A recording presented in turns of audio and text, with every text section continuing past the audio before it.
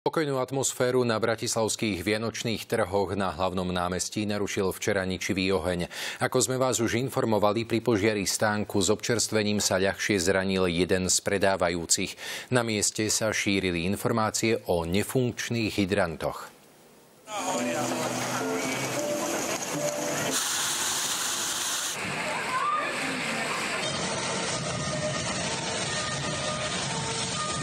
Požiar vypukol krátko po pol štvrtej hodine popoludní a to priamo v drevenom stánku pred známou kaviarňou Roland. Rýchlo sa šíriace plamene sa cez rozbitú sklenenú výplň dostali dovnútra.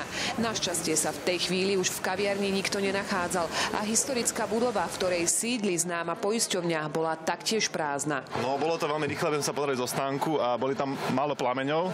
Všetci ľudia sa pozerali vlastne na tie plamene a behom sekundy, keď sme utekali dozadu, tak vlastne plamene už boli na svojom stánku. A ono sa to hneď znietilo a strašne rýchlo to začalo horieť. To sa nedalo nič robiť, lebo olej horí rýchlo a v podstate to vybuchlo. Namiesto toho, aby návštevníci utekali do bezpečia, sa v okolí horiaceho stánku pohybovali. Evakuovať ich museli až policajti, ktorí priestor zabezpečili.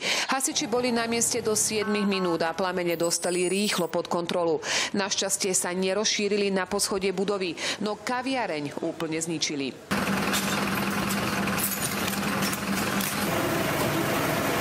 Podľa doterajších informácií k požiaru došlo pri výmene plynovej flaše. Pri požiari sa nikto z návštevníkov našťastie nezranil. Ľahšie popáleniny však mal zrejme majiteľ stánku, kde požiar vypukol. Podľa slov záchranárov mal popálenú ruku.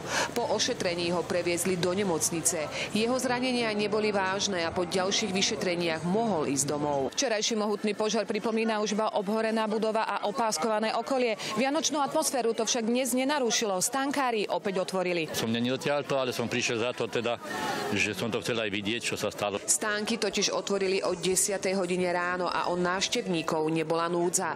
Podľa slov predávajúcich obsluhe sa mohli vrátiť aj včera a to po vyše troch hodinách po požiari. Na mieste sa povrávalo, že pri námestí nefungovali hydranty. V okolí by ich pritom malo byť až 7. Prácu hasičov by to však neohrozilo. V cisternách totiž mali až 31 kubíkov vody.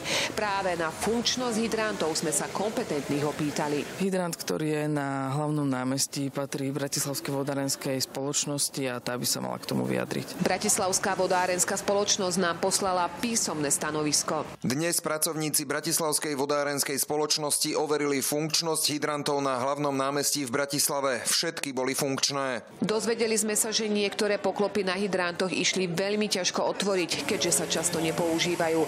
Treba na to náradie, no v krízovej situácii by na to nebol čas. Vyšetrovateľ okresného riaditeľstva policajného zboru v Bratislave 11 začal v tejto súvislosti trestné stíhanie vo veci trestného činu všeobecného ohrozenia. Presná príčina požiaru je podľa polície aj naďalej predmetov vyšetrovania a expertízneho skúmania. Konkrétnu osobu zatiaľ neobvinili.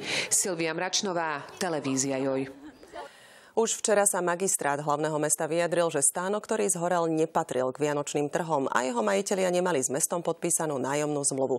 Pozreli sme sa na to, ako je možné, že stánok bol otvorený a či bol na mestskom pozemku.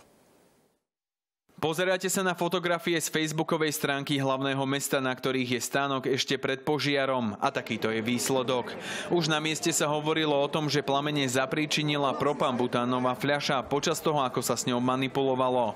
Požiar zachvátil aj kaviareň v historickej budove. Škoda bola predbežne vyčíslená na zhruba 200 tisíc eur.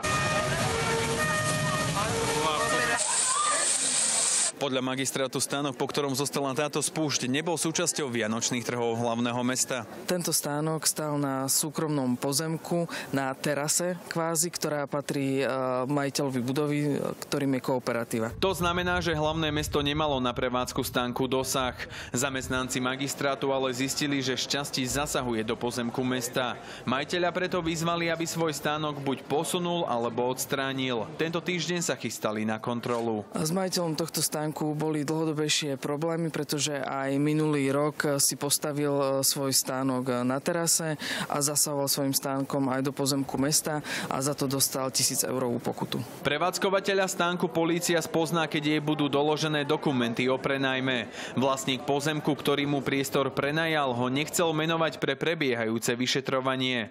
Oslovili sme aj spoločnosť, ktorá podľa obchodného registra prevádzkuje kaviareň, ale do uzavierky spravodajstva sa nám nikto neozval. Príčiny požiaru sú ešte stále predmetom vyšetrovania až výsledky vyšetrovania určia zodpovedného za spôsobené škody. Stánkári, ktorí majú riadnu nájomnú zmluvu s hlavným mestom, majú priamo v nej zadefinovanú povinnosť dodržiavať požiarné a bezpečnostné predpisy.